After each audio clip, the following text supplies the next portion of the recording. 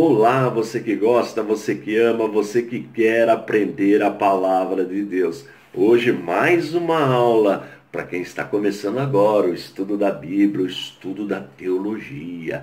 E a matéria de hoje é sobre a pessoa do Espírito Santo.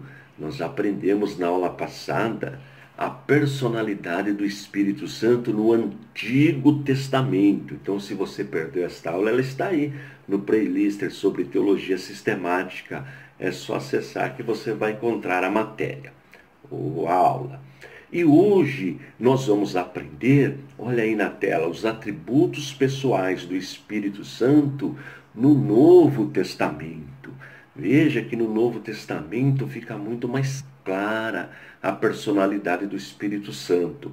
E isso é importante porque existem grupos religiosos que negam a personalidade do Espírito Santo.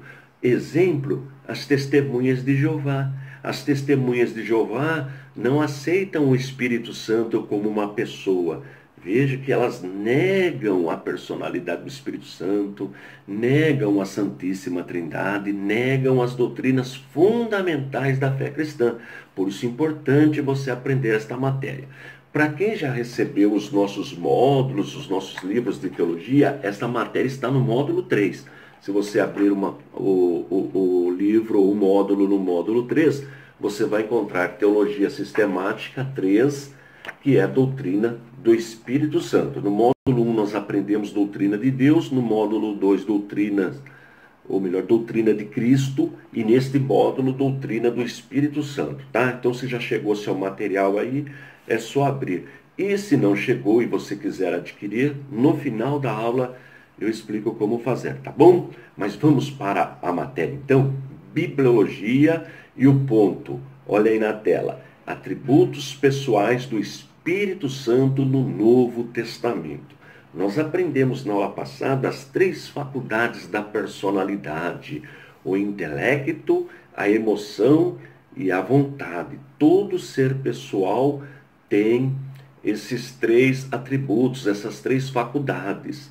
Então nós vamos ver se o Espírito Santo é uma pessoa, lendo textos agora do Novo Testamento. Nós vamos provar que o Espírito Santo é uma pessoa. Então veja, Atos dos Apóstolos, Atos dos Apóstolos no Novo Testamento, o quinto livro, nós temos as quatro biografias, depois nós temos Atos dos Apóstolos, o único livro histórico do Novo Testamento. Atos no capítulo 9 e no versículo 31. Olha aí na tela, o texto diz: O Espírito Santo consola. Diz assim: Assim, pois, as igrejas em toda a Judéia e Galiléia e Samaria tinham paz e eram edificadas e se multiplicavam, multiplicavam andando no temor do Senhor e consolação do Espírito Santo. Olha aí um gesto aí, uma qualidade pessoal. O Espírito Santo consola a igreja. Vamos para mais um texto. O Espírito Santo ensina. O mestre da igreja é o Espírito Santo. Eu estou aqui ensinando a palavra de Deus apenas como um transmissor. Eu apenas uso não, meus órgãos sensoriais, eu uso a minha voz, né, a minha imagem para apenas transmitir a palavra de Deus. Mas quem fala aí com você, fala no seu coração, edifica a sua alma, quem te alegra, quem te dá sustentação é o Espírito Santo, é com ele que nós devemos aprender. Então vamos ver o que está escrito em João 14, 26. Olha o que João escreveu no Evangelho, no capítulo 14, verso 26. Mas aquele consolador, o Espírito Santo, que o Pai enviará em meu nome, esse vos ensinará todas as coisas e vos fará lembrar de tudo quanto vos tenho dito. Está vendo que coisa importante? Jesus falando do seu substituto. Ele, em outro texto, diz que nós não ficaríamos órfãos então a igreja nasce com a descida do Espírito Santo. É o Espírito Santo que conduz a igreja. todo crente tem o Espírito Santo, que é diferente dos dons espirituais que nós vamos estudar mais na frente. Vamos para mais um texto é, dos atributos pessoais do Espírito Santo. Veja bem, o Espírito Santo guia. Olha aí, guia. Olha aí na tela. Está em Romanos 8 e 14. Porque todos os que são guiados pelo Espírito Santo, estes são filhos de Deus. Veja que importante é a pessoa do Espírito Santo em nossas vidas. Se a pessoa não é guiada pelo Espírito Santo, então não é filha de Deus. Olha que interessante esta mensagem. O Espírito Santo entristece. Olha aí, entristecer tem a ver com emoção. Não é? Quando a pessoa está triste ou está feliz, isso tem a ver com a emoção. Então veja que o Espírito Santo se entristece. Olha Efésios capítulo 4, versículo 30. Diz assim: E não entristeçais o Espírito Santo de Deus, no qual estáis selados para o dia da redenção. Então o crente deve andar de forma que não entristeça o Espírito Santo. Olha, como tem sido a sua vida, a sua conduta no meio dos irmãos, na sociedade.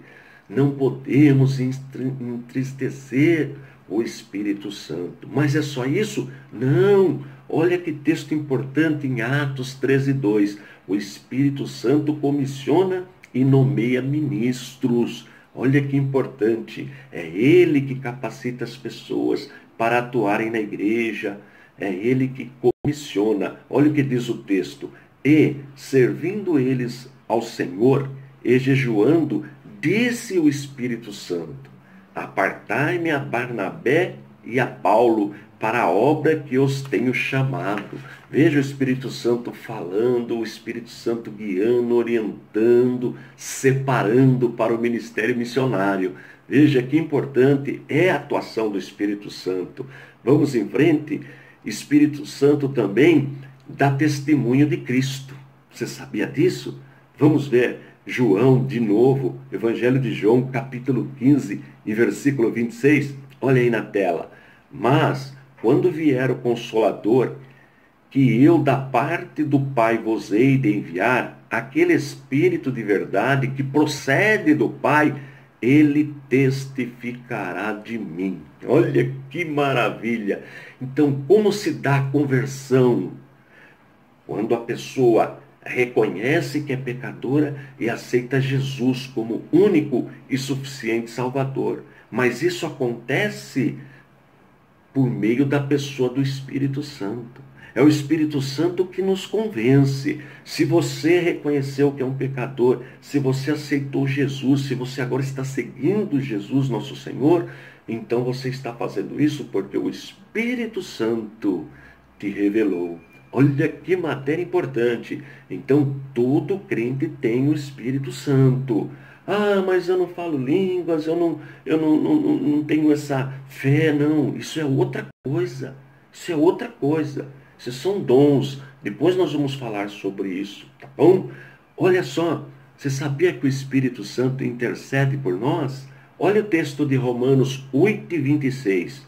E da mesma maneira também o Espírito ajuda as nossas fraquezas, porque não sabemos o que havemos de pedir como convém, mas o Espírito, mas o mesmo Espírito intercede por nós com gemidos inexprimíveis. Olha, que coisa importante, o Espírito Santo intercedendo por nós. Vamos mais um texto? Veja que essa matéria é só textos bíblicos. O Espírito Santo fala. Olha que importante. O Espírito Santo fala, outro atributo da personalidade. Apocalipse, Apocalipse 2 e 7. Olha aí o texto. Quem tem ouvidos, ouça o que o Espírito diz às, às igrejas. Ao que vencer, dar-lhe-ei a comer da árvore da vida que está no meio do paraíso de Deus. Viu que importante? É só isso? Não, tem mais. Mas agora eu vou deixar para outro dia, para outra aula de teologia sistemática, que eu gravo sempre nas terças, tá bom? Depois a gente continua, para não estourar o tempo. Agora, se você está gostando, está aprendendo e quer aprender muito mais, então peça o nosso material. Para o nosso curso básico, são cinco módulos, como este aqui. Cada um tem quatro matérias. Ah, os exercícios, as provinhas já estão tudo aqui dentro. Você desenvolve, faz num papel, é, uma folha de caderno universitário, desenvolve tudo, ou pode fazer também no computador, usar o aplicativo Word, faz tudo, envia para a gente, pode enviar por e-mail, pode enviar pelo correio, como for melhor para você. Enviando todas as atividades, em um ano você vai receber o seu diploma. Olha o diploma aí, que bonito é o nosso diploma. Vai receber também histórico escolar com todas as nossas, ou melhor, as notas que você conseguiu, é, registradas no histórico e quando faz a matrícula, ah, sem taxa de matrícula, viu? Você pode solicitar também a sua carteirinha de estudante. Com ela você pode comprar livros com desconto, material didático, participar de eventos culturais e muito mais. Para isso, você acessa o nosso site. Olha o site. É www.icp.com.br www.icp.com.br Lá tem todas as informações que você precisa para adquirir o nosso material. Aí você vendo tudo lá, você pode enviar pelo WhatsApp uma mensagem dizendo que você assiste às minhas aulas, aí você recebe desconto que pode chegar a 50%. O WhatsApp é 0 operadora 11, ou melhor, 0 operadora 21 98622 3266. 0 operadora 21 98622 3266. Tô indo embora. Forte abraço e fique na paz de nosso Senhor e Salvador Jesus Cristo.